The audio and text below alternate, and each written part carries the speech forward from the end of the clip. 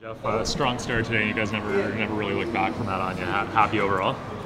Yeah, I mean, we won, and uh, you got to be happy with that. But at the same time, it's not perfect again, and uh, we're not painting Picasso's or whatever you want to call it. Uh, it's stressful. No lead seems to be good enough, and uh, we could make it so much easier on ourselves if we just kept it simple. And every time we do, and the lines that do, uh, you know, we, we we're a good team, and and we just kind of keep them in it, keep them in it. So, but listen, at the end of the day, we won, and that's a good team across there. So we're pretty happy with the with the win. Your captain seems to have finally overcome whatever hurdle that was early on in the season. Uh, is was that just a matter for a guy that skilled of just getting a one or two and Yeah. starting to get that momentum back? Matter of time, and uh, he's too good a player to not not have success. So he uh, starting to go in for him.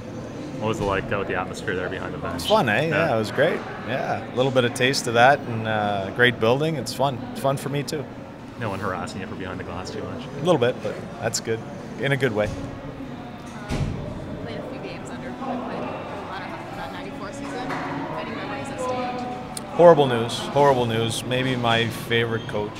Uh, you know, he was a real player's coach, and uh, sad, sad news. I heard between the first and second there, and uh, it's, uh, he was a good man. He was uh, he taught the right way, and and uh, you know I coach a lot like him. I, I or I try to, anyways. Um, he uh, he helped me a lot in my career, and and uh, sad news.